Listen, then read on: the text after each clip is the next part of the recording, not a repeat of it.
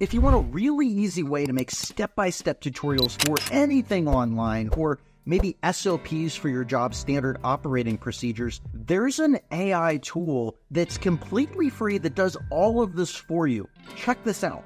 Okay, so think of this video as like a step-by-step tutorial. I'm going to show you exactly how it works and everything that you need to do. So the website is scribehow.com. They also have this uh, free Google Chrome extension that makes this all work really simply. So just go to scribehow.com and I'm going to jump right in, but this is how it, it kind of works is when you turn it on, all you need to do is do the actions of what you want to show and it screens record the entire process and breaks it down into individual steps with screenshots and instructions. So I'm going to run through something A to Z with Scribe on, and then I'm going to show you the end result as well. And we're going to talk about a couple examples. Let's jump in.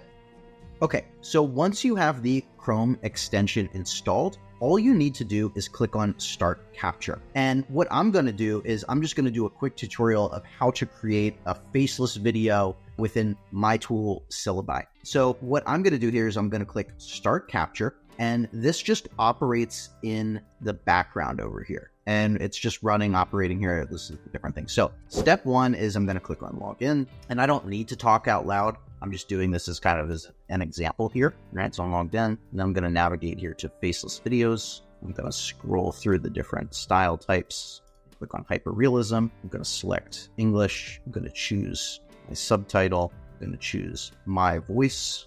I'm going to say ancient Rome. Then I'm going to click generate script and click generate video. And now I'm going to stop the tutorial here and I'm going to click complete capture.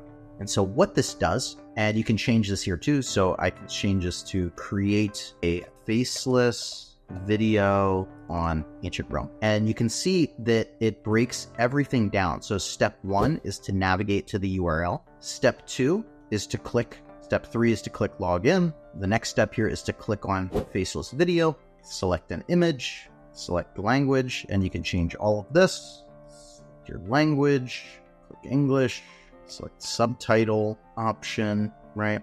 And so it captures everything automatically. I can change the order of anything here too. There are some customizations if you want to go on the Pro, but then all you need to do is click on share here and copy link, right?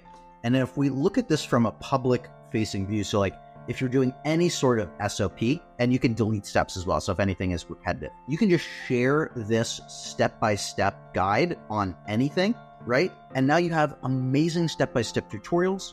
This is such a game changer for how to anything. You just have to simply turn it on and do it, and it does all of the work for you. When you're logged into the back end of Scribe as well, all of your step by step tutorials will be indexed back here. So, for instance, I did an OpenAI ChatGPT walkthrough several months ago, and it shows you know, step by step log in, sign up for ChatGPT. You can start to type things here, click generate, and it does everything for you. You can also just share all of those. They have stats as well of if you're sharing the link to any of these step-by-step tutorials, it tracks all of those those analytics for you. And then I wanted to just quickly show you a couple of the highlights that they have on their website here too. So you can click on create SOPs. So the other thing that I love about Scribe here is if you click on product and then click on Scribe Gallery, it actually has a ridiculous amount of examples for you to actually see exactly how it works. So like how to turn off open to work on open to work on LinkedIn and it just has step-by-step tutorials. If you click on like marketing here for instance, you know they have how to set up the root domain bit.ly, how to link YouTube videos at the start of specific themes. You can do life hack videos on here, you know how to create and share a wish list on Amazon. Honestly, you can do pretty much any step by step thing on here. All you need to do is just turn it on and do the thing, and it creates a step by step workflow that you can then share with anyone, and the whole thing is free. I hope this AI tutorial was helpful. If you want more AI tips and tutorials and find other useful websites like this, make sure you hit subscribe. And I do have another video right here if you want to check that out.